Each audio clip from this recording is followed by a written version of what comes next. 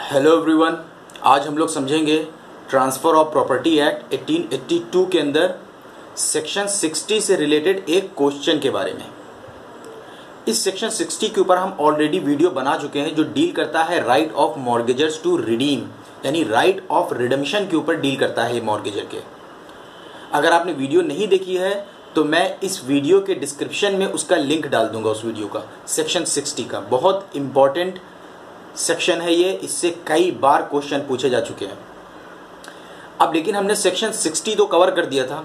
अब लेकिन एग्ज़ाम में किस तरीके से क्वेश्चन पूछा जाता है, आज हम उसके ऊपर बात करेंगे और उसका जवाब देंगे कि उसको किस तरीके से लिखना है। जैसे सेक्शन 60 के बारे में तो ये पूछ लेता है कि मॉर्गेजर के राइट टू रिडीम के बारे में लिखने के लिए। इतना तो लिख देता है। जैसे एक बार हम लोग फिर से रिकॉल कर लेते हैं राइट ऑफ़ रिडेम्शन को समझ लेते हैं थोड़ा सा। ब्रीफ में, जैसा कि हम लोग जानते हैं कि मॉर्गेज के अंदर क्या होता है, बंधक के अंदर क्या होता है? एक व्यक्ति अपनी अचल संपत्ति किसी दूसरे के पास बंधक के तौर पे देता है और बदले में उससे कुछ उधार पैसा लेता है। कि जब मैं तुम्हें अपना उधार पैसा जो है ये लौटा दूँगा, जो मेरी चीज़ मैंने तुम्हें बंधक पे दी है, अचल संपत्ति, ये तुम मुझे वापस कर दोगे। जैसे फॉर एग्ज़ाम्पल अगर मैं आपसे कुछ पैसा उधार ले रहा हूँ और बदले में अपनी कोई अचल संपत्ति आपके पास बंधक के तौर पे रख रहा हूँ तो ये होता है मॉर्गेज जिसमें मैं मॉर्गेजर हो जाऊँगा और आप मॉर्गेजी हो जाएँगे। अब सेक्शन 60 जिस चीज़ के ऊपर डील करता है, ये डील करता है right of mortgagor to redeem मतलब धारा 60 जो है, ये हमें एज अ मॉर्गेजर एक राइट देती है, एक ऐसा अधिकार देती है कि ये एक इनहेरेंट राइट है। मतलब कि कभी भी जो हम लोगों ने समझौता किया है उसका टाइम ड्यू होने पे अगर मैं पैसा आपको देता हूँ या पैसे के लिए ऑफ़र करता हूँ तो आप कभी मुझे मना नहीं कर सकते हैं मेरी प्रॉपर्टी मुझे वापस करने के लिए। आपको भले ही कितनी प्रॉपर्टी पसंद हो पसंद आ जाए, या हम लोग कोई भी इस तरीके की उस कॉन्ट्रैक्ट के अंदर, उस मॉर्गेज डीड के अंदर ऐसी समझौता नहीं कर सकते हैं जो मेरे इस अधिकार को मुझसे छीन ले। यानी कि अगर मैं पैसा देना चाह रहा हूँ आपको तो मुझे कोई भी ताकत रोक नहीं सकती है अपनी संपत्ति आपसे वापस लेने को। इसी को बोलते हैं right of mortgagors to redeem तो अब एग्ज़ाम में क्वेश्चन किस तरीके से पूछता है? एग्ज़ाम में क्वेश्चन पहले तो ये पूछ लेगा कि राइट ऑफ़ रिडेम्शन क्या होता है? अब क्वेश्चन ये बनता है कि क्या पार्टीज़ जो हैं, जो पार्टीज़ हैं मॉर्गेजर और मॉर्गेजी क्या आपस में बैठ के किसी तरीके का कॉन्ट्रैक्ट करके, क्या इस राइट को, जो मॉर्गेजर की राइट है, क्या इसको ख़त्म कर सकते हैं डिस्ट्रॉय कर सकते हैं कर्टेल कर सकते हैं? क्वेश्चन ये पूछता है कि क्या वो लोग अगर कोई कॉन्ट्रैक्ट करते हैं, किसी तरीके की समझौता कर लेते हैं, क्या इस तरीके की जो अधिकार है, ये जो राइट है राइट ऑफ़ रिडमिशन का मॉर्गेजर का, क्या इसको डिस्ट्रॉय किया जा सकता है, ख़त्म किया जा सकता है? ये क्वेश्चन पूछा जा चुका है। हम ऑलरेडी इसके ऊपर वीडियो बना चुके हैं कि दस वो इंपॉर्टेंट क्वेश्चन टीपीए के कौन से हैं। तो उसमें हमने इस क्वेश्चन के ऊपर बात करी हुई है। तो क्या उसका इस अधिकार को छीना जा सकता है?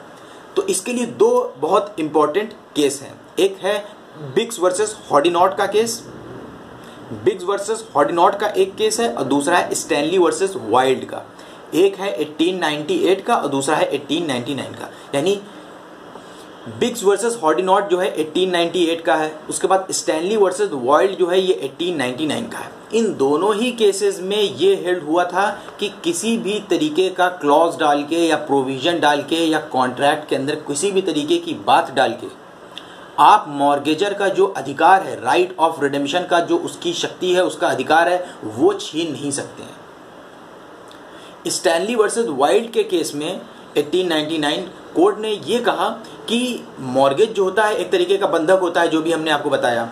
तो अब इसके इसके अंदर जो मॉर्गेजर होता है यानी कि मैं, मेरे पास ये इनहेरेंट राइट है, ये अधिकार है कि मैं आपको पैसा दे के या पैसा टेंडर करके ऑफ़र करके आपसे अपनी चीज़ रिडीम कर लूँ, अपनी चीज़ वापस ले लूँ। लेकिन अगर हम लोगों ने अपने समझौता के अंदर ऐसा कोई भी प्रोविज़न डाला, ऐसा कोई भी क्लॉज डाला, जो मेरे इस अधिकार को छीन रहा है तो वो शून्य होगा, वो वाइड होगा, क्योंकि once a mortgage always a mortgage ये चीज़ बोली गई स्टैनली वर्सेस वाइल्ड के केस में। तो आप कोई भी तरीके का कॉन्ट्रैक्ट करके, यानी मॉर्गेजर मॉर्गेजी किसी भी तरीके का कॉन्ट्रैक्ट करके मॉर्गेजर के इस अधिकार को नहीं छीन सकते हैं।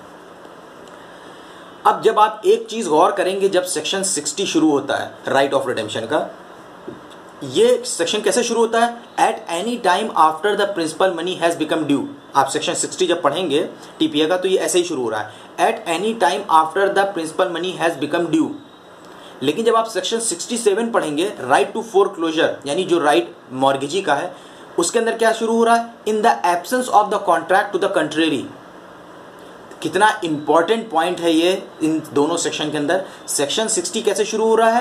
At any time after the principal money has become due यानी इसके अंदर ये बात नहीं लिखी गई at the absence in the absence of any contract to the contrary यानी आप कौनों कॉन्ट्रैक्ट कर लें उस पर कोई फ़र्क नहीं पड़ेगा। जो राइट ऑफ़ रिडेम्शन का राइट है मॉर्गेजर का, वो आप छीन सकते ही नहीं है। तो इसीलिए इस सेक्शन के शुरुआत में ऐसा कुछ नहीं लिखा। In the absence of the contract to the contrary सीधे तौर पे लिखा हुआ at any time after the principal money has become due लेकिन सेक्शन 67 पढ़ेंगे आप तो उसमें लिखा हुआ है in absence of the contract to the contrary यानी अगर वहाँ पे कॉन्ट्रैक्ट हो जाएगा तो उस पर उसका प्रभाव पड़ जाएगा।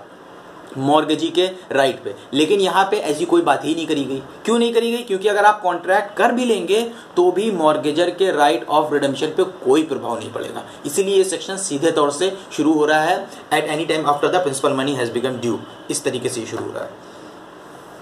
तो ये हम लोगों का सेक्शन 67 से जुड़ा हुआ एक क्वेश्चन था, क्योंकि ये क्वेश्चन पूछ लेता है। क्योंकि हमने बताया ना कि इतना इजी क्वेश्चन नहीं पूछता है। क्वेश्चन पूछता है इस तरीके से, ताकि वो ये चेक करें कि आपने क्या इसको डीपली पढ़ा है? इसके गहरान में जाके पढ़ा है? तो क्वेश्चन इस तरीके से फ्रेम होता हुआ। राइट ऑफ़ रिडेम्शन के बारे में तो आपसे पूछेगा ही पूछेगा उसके साथ पूछेगा क्या कॉन्ट्रैक्ट करके इसको खत्म किया जा सकता है?